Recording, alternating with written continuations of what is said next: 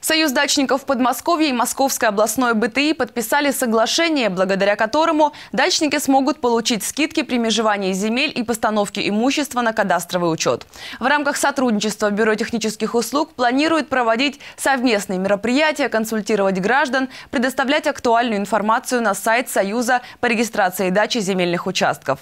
Подписи под документом поставили председатель Союза дачников Подмосковья Никита Чаплин и генеральный директор регионального БТИ Александр Беднягин. Соглашение между Союзом дачников Подмосковья и МОПТИ начало действовать с момента его подписания. Также его целями является повышение информированности граждан о правовом регулировании земельно-имущественных отношений в Московской области, оказание содействия при выполнении работ по подготовке документов для регистрации прав на недвижимое имущество садоводческих, огороднических и дачных некоммерческих объединений граждан и их членов.